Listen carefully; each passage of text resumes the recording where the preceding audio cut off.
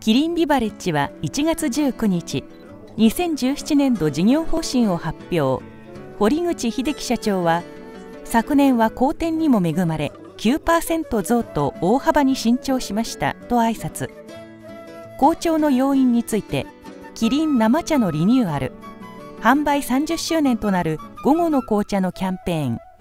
キリンファイヤのリニューアル。サンプリングなどが功を得たと語りました。今年度の方針については利益ある成長のセカンドステージと位置づけ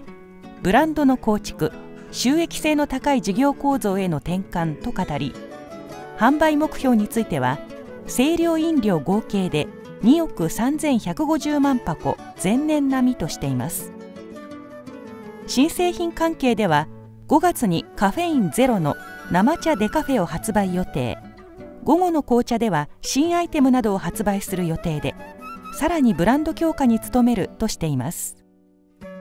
新しいことをキリンからっていうか一つやっぱりこうチャレンジしてみよう。お客さんに新しいことをねやっぱりこう今までと違ったレベルでこうご提案したいっていうそういったものをですね、まあ、昔からまあ DNA っていうんですかねこう持ってましてそういったスピリットで皆様になんとかやっぱりこう美味しい嬉しいを届けたいと、まあ、こういうですねあの心意気っていうかですね思ってやらせていただいているところかなというふうに思いますね。お客様に、えーと、ここまで受け入れられるとは思っていなかったのであの非常に嬉しいですね味覚もそうですしパッケージもそうですけどもあのそういった